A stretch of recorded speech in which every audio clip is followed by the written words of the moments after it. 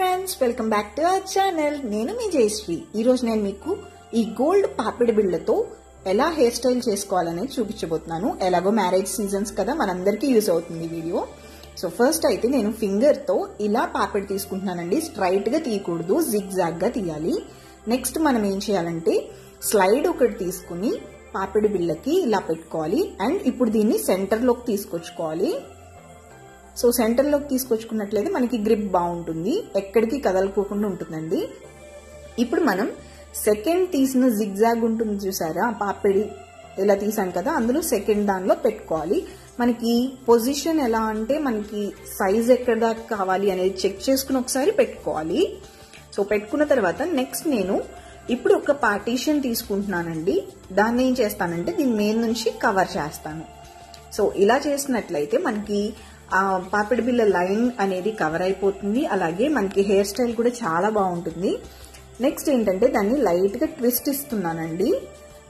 అప్వర్డ్స్లో twist చేయాలి దాన్ని.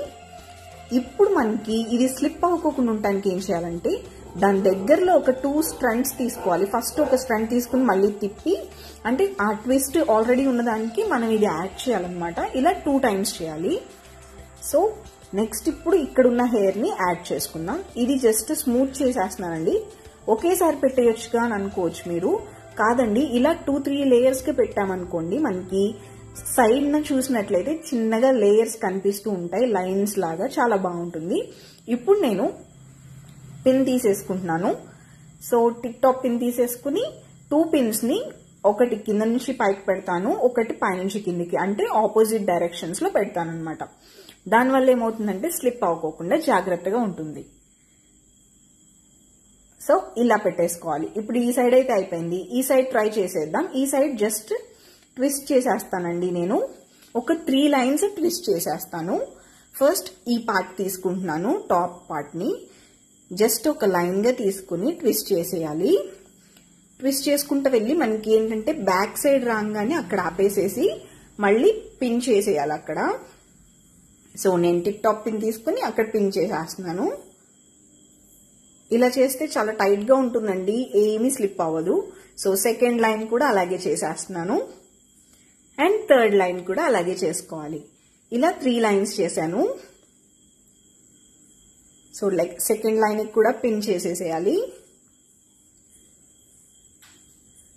Next third line third line కూడా మిగిలిపోయిన హెయిర్ మొత్తం కలిపేసేసి చేయాలి. చూడండి ఫైనల్ లుక్ అయితే ఇలా వచ్చింది చాలా బాగుంటుందండి. మీరు కదిలిచ్చినా కానీ చూసారు కదా ఏమీ కదలట్లేదు. ఎలా ఉందో అలానే ఉంటుంది. మీకు హెయిర్ స్టైల్ కూడా చాలా నీట్గా ఉంటుంది. చాలా ట్రెడిషనల్గా బాగుంటారు.